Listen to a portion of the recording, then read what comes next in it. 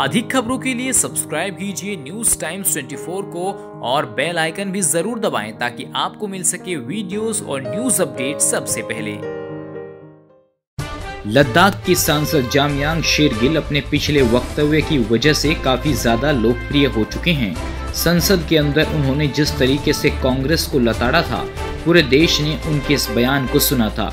एक बार फिर उनको सदन में बोलने का मौका मिला।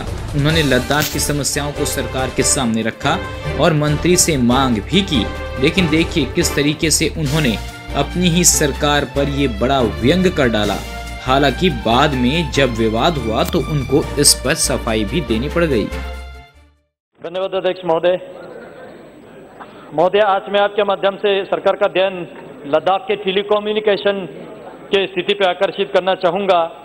एलओसी और एलएसी जो लद्दाख चाइना और पाकिस्तान के साथ बॉर्डर लगते हैं वहाँ पे ऐसे विलेजेस एंड हेमलेट्स करीब 350 हैं जहाँ पे मोबाइल कम्युनिकेशन टेली कम्युनिकेशन बिल्कुल ही नहीं है। जिसकी वजह से वहाँ के लोग अभी विंटर भी आ रहा है इसमें करीब 12, 13, 15 फीट के बर्फ़ होते हैं सर। और इसमें लोगों का माल मवेशी दब जाते हैं चरा का पूरा खत्म हो जाते हैं और वहाँ से एक पेशेंट को एविक्यूट करने के लिए कम्युनिकेशन तक नहीं हो पाते हैं। पिछले साल तक हमारा 344 ऐसे डीएसपीटी चलते थे, वो सारा बंद हो गया, सर। इस बार आने वाले विंटर हमने हमने कैसे जीवित रहना है, वो अनुमान नहीं कर सकते। मैं आपको बता दूँ, मेरे संसदीय क्षेत्र द्रास में आज के टेम्परेचर माइनस ट्वेंटी चल रहे सर। ऐसे दुर्गम स्थिति में लोगों का कम्युनिकेशन का साधन होना बहुत ज़रूरी है। और ये वहाँ कमर्शियल वायबिलिटी ना होने के कारण से private sector as well as BSNL का नहीं हो पा रहा है क्योंकि ऑपरेशनल कॉस्ट हाई है और रिटर्न लेस है।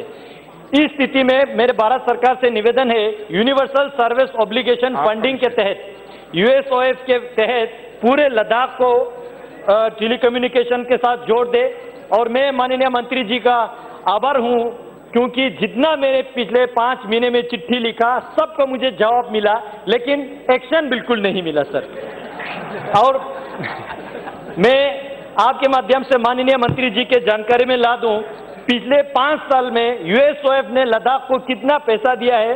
2014 से 15 और 15 से 16 तक नील 16 से 17 तक नौ लाख चौदह हज़ार, सत्रह से 18 तक एक लाख चौंतीस हज़ार और 18 से 19 तक एक लाख चौरावन हज़ार। अगर डिपार्टमेंट मुझे बोल देता तो मैं किसी सरपंच से ही से ज़्यादा पैसा दे देता, सर डिपार्टमेंट को। मैं सरकार की आलोचना नहीं कर रहा हूँ, सर।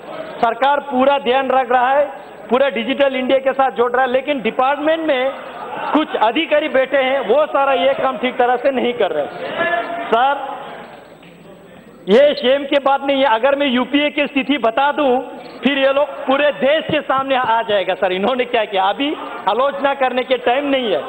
सर डिजिटल कम्युनिकेशन ना होने के कारण से जितना भी सरकार के स्कीम से, चाहे नरेगा हो old age pension widow pension Ujjwala योजना ऑनलाइन टेंडर जितना भी होते हो, ये सारा वहाँ पे ग्रास रूट लेवल पे नहीं पहुँच पाता है। इसलिए मेरे सरकार से निवेदन है, इसको प्रायोरिटी देके ये पूरे लद्दाख क्षेत्र जो है केंद्र शासित प्रदेश बनने के बाद डिजिटल लद्दाख बनने की कृपा करें, ये मेरे आपके माध्यम से माननीय मंत्री जी से निवेदन है, सर। बहुत बहुत धन्यवाद।